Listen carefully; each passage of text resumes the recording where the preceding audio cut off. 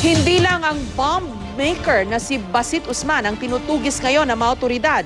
Limang dayuhang terorista rin ang nagsasanay raw gumawa ng bomba sa Marawi. Live mula sa Quezon City, my report si Bam Alegre. Bam? Jessica, kasabay nga nitong operasyon para hanapin si Basit Usman. Nakakalap tayo ng impormasyon na meron din mga banyagang nagkukuble dito sa hanay ng BIFF. Narito ang ulat. Positibo raw nakita si Basit Usman ng mga asset ng militar na kasama ang BIFF o ang Bangsamoro Islamic Freedom Fighters. tatlo yung ah, mga commanders na nagta- nagkakanlong kay Usman at palipat-lipat siya sa mga balwarte. Pero bukod kay Usman, tinutugis din ng pamahalaan ng ilang mga banyaga na nagsanay rin daw sa paggawa ng bomba sa Pilipinas. Nakuha ng GMA News ang kanilang mga larawan mula sa mga pinagkakatiwalaang source. Anila sa Marawi raw nagsanay ang mga Indonesian na sina Anura Yangkong, Arshad Sagoni, Suwito Tujimon at Amir Nangi. May isa rin silang kasama na isang Arab national na posibleng isang bihasang chemist daw.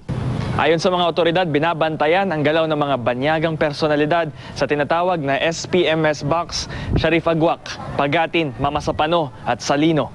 Posible na sila rin ay ah, sangkot doon sa serye ng pambubomba doon sa Maguindanao kung saan ah, mayroong mga pinasabugan na mga ah, crowded areas, mayroon yung school, at maging yung bus ah, sa Bukidnon at ah, pati yung mga power lines. Katuwang rin daw ang PNP sa paghahanap sa mga banyagang teroristang ito. kung makaka-establish kami ng uh, sufficient ground to effect an arrest against uh, a particular individual, again, regardless of nationality, huhulihin natin yan at pananagutin natin sa batas natin.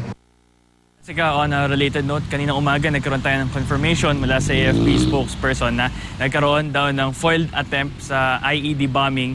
Ah, involved ang apat na members daw ng Abu Sayyaf pero hindi raw ito natuloy dahil nangyari ito sa barangay Kulay Bato sa may Lamitan, Basilan. Balik sa ima. Paano daw nila nalaman, Bam, na may mga dayuhang terorista?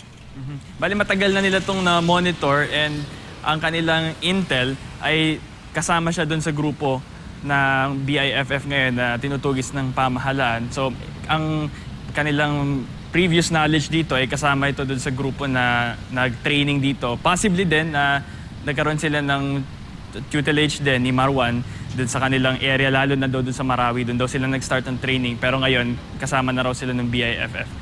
Maraming salamat sa iyo, Bam Alegre.